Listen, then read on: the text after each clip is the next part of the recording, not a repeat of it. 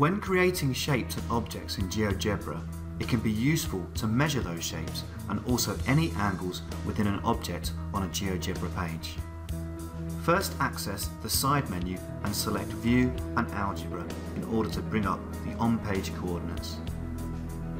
To focus only on the image coordinates that you wish to measure, we can simply delete the other coordinates on the page. Here I'm deselecting the circle's coordinates to reveal only the triangle. Now the display has been simplified to only show the triangle. Now let's look at measuring the angles of the triangle. First select the angle menu and select the angle tool. Then from a clockwise direction, select A, then C, then B to measure the central angle between these points. Then do the same for C to B to A. Then finally B, A and C to reveal the remaining angles.